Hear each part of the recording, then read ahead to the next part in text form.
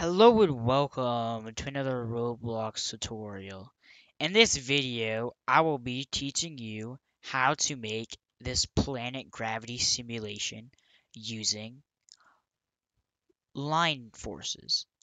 And line forces are very useful in Roblox. They allow you to simulate many real life things with little to no math and or scripting. In fact, in this video, I don't use any scripting and I still get this result. And this is sort of inspired by one of my Unity games that I've made, and you guys should check that out if you haven't. And I use the same concept in Unity, but in Unity you had to use a bunch of weird math using like the gravitational constant and a bunch of formulas. But in Roblox, all you had to do is use these really nice line force constraints. So if you guys enjoy this video, make sure to like and subscribe and comment if you want to see any more constraint videos. But without further ado, let's get into the video.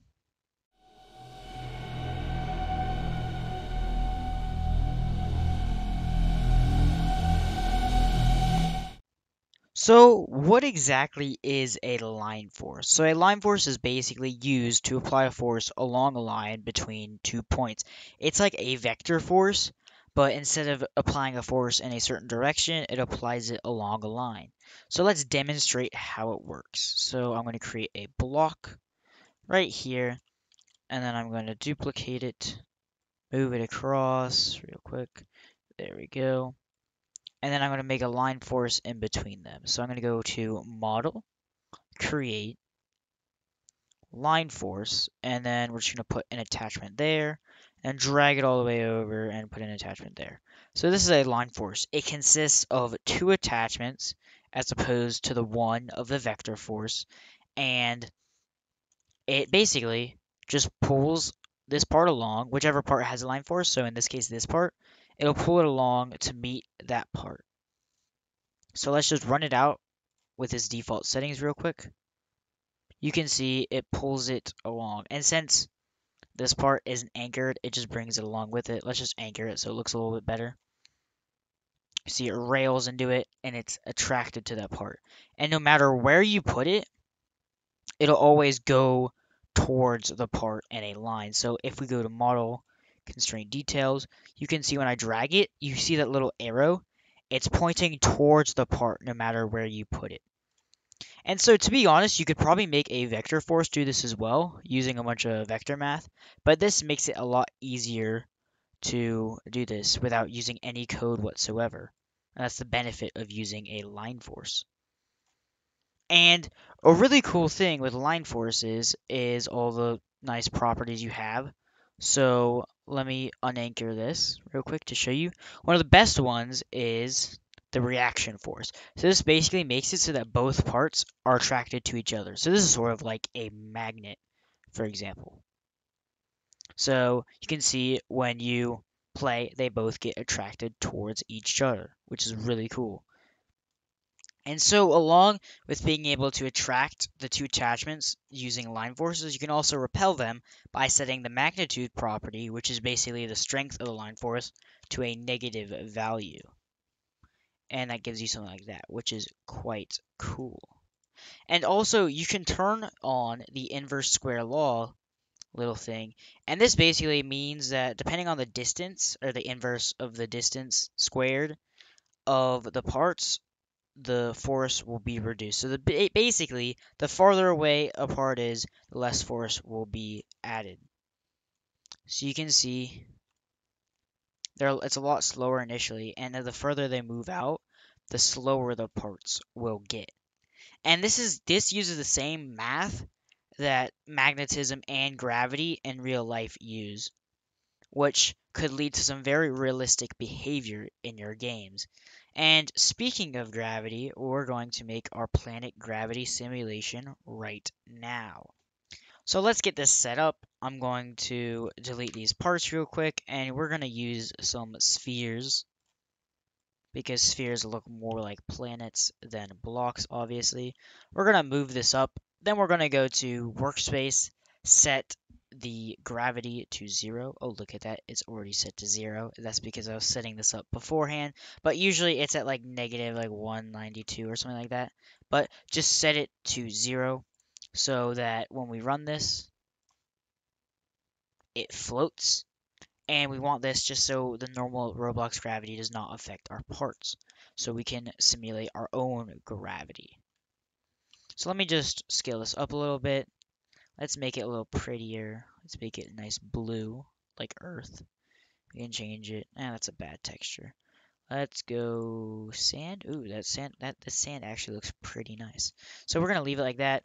Let's duplicate this. And I duplicated it with Control D.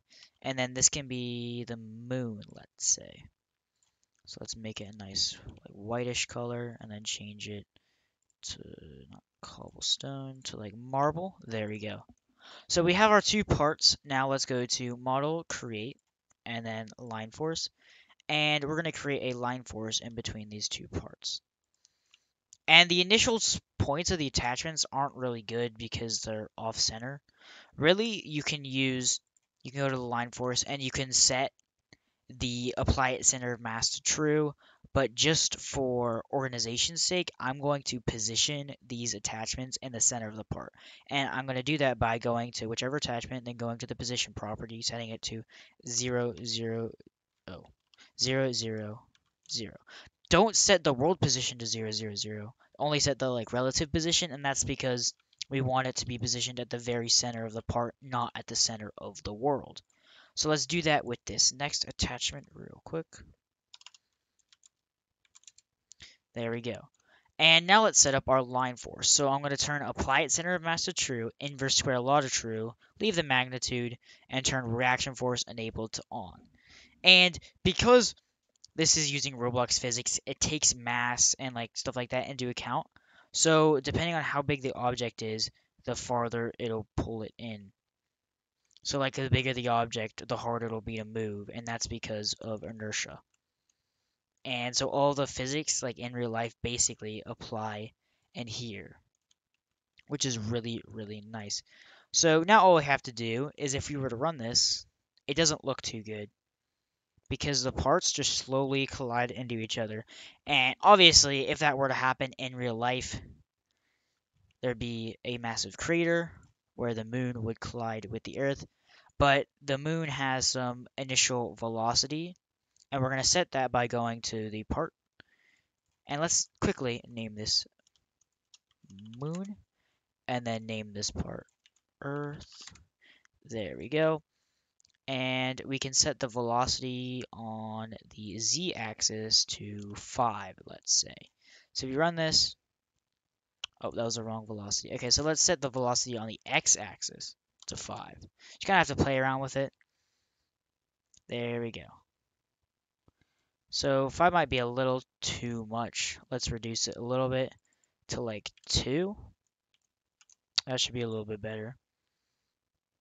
And there we go. We have ourselves an orbit. And it's slightly elliptical, actually a little too elliptical. Let's increase our velocity to 3. You kind of have to play around with these settings. Because depending on the parts, it'll give you different results. So this is a pretty nice and stable orbit. And since the gravity is zero, it's perfectly level.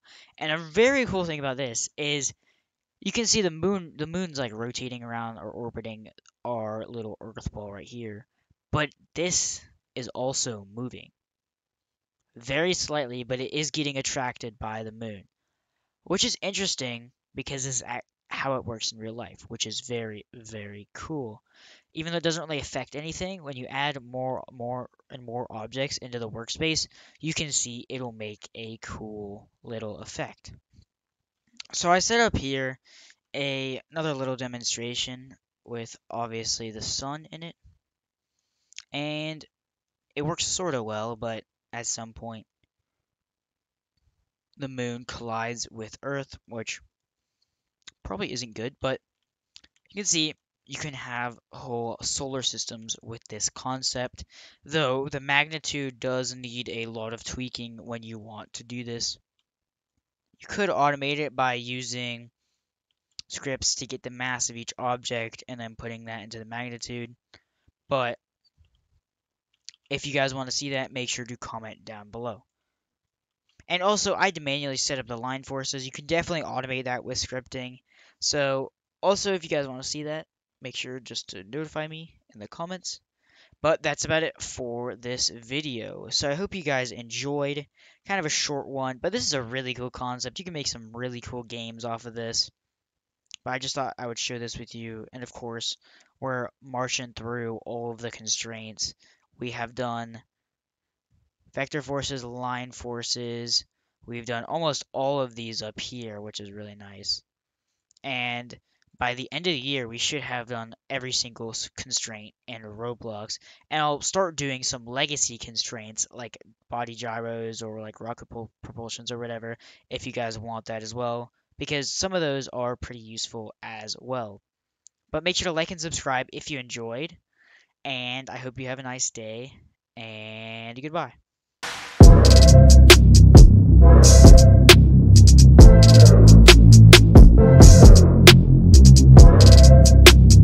you